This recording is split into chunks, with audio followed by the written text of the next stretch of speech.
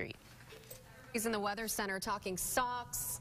We're talking food over here. We're just a few weeks away from finding out the winners for the Arkansas Food Hall of Fame, and we have another finalist here this morning. We're glad to have Capi here at Trios and Andrew with the Department of Arkansas Heritage here. Thanks so much for being Thank here you this for having morning. us. Uh, you know, Arkansas just filled with so much delicious food, some awesome chefs, amazing restaurants. Tell me a Mm-hmm. little bit about this program. How does it work? Well, the Department of Arkansas Heritage wanted to help to tell, help tell the story of all these, um, you know, the great restaurants, the fun events, and all the people behind it.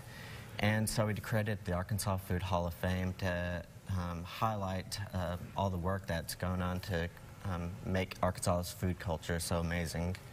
And so um, we took nominations in uh, October, received received over 600 nominations. Wow. And now we're, um, and we narrowed them down to finalists, and we're going to announce the winners at a, um, uh, at a awards induction ceremony uh, February 25th at uh, Ron Robinson Theater.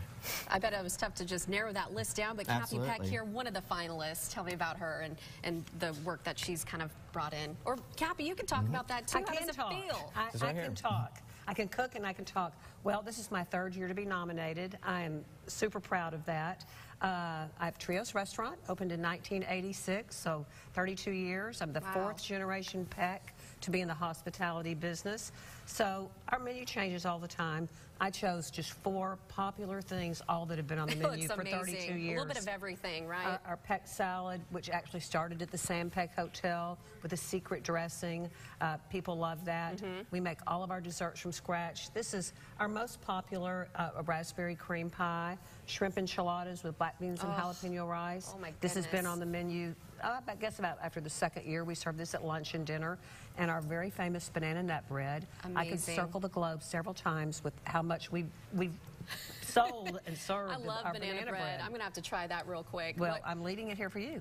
perfect. A lot of happy people in studio, that's for sure. How does it feel to be a finalist? Oh, I'm so proud because there's so much competition, and I think all over the state we have such uh, rich restaurant heritage, and so many with, with a lot Mm-hmm. of longevity. You know, Trios being one of them.